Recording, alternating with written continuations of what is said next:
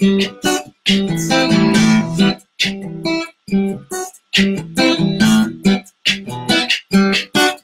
you're white and killed by terror, your value is the maximum. That's what happened with the Twin Towers. In Afghanistan and in Iraq in retaliation, half a million were killed at a minimum. They said that one Western life is worth 200 Muslims. That's the truth that they don't want us to know. Warmongers and they want to keep on warmongering. Leave it us to ask in vain. How much is a life worth? How much? How much is a life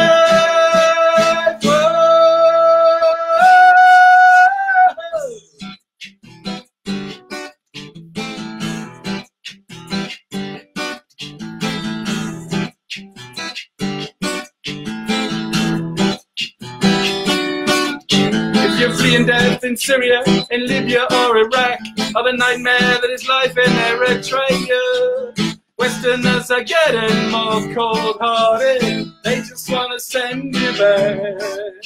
These Christians are giving up on Jesus' values, treating refugees like parasites. When they're fleeing our wars and our exploitation, leaving us to ask again. How much is a life worth?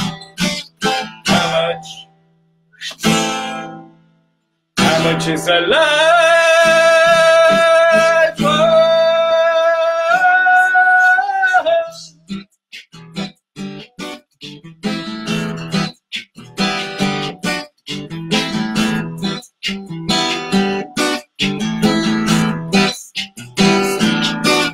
If you're black in America, your life has no value unless, like Obama, you're part of the elite. For most, it's still like the days of slavery.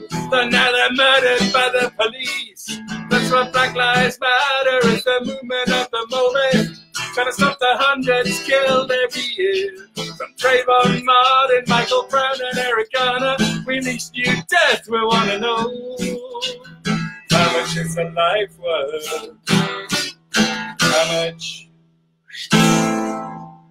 How much is a life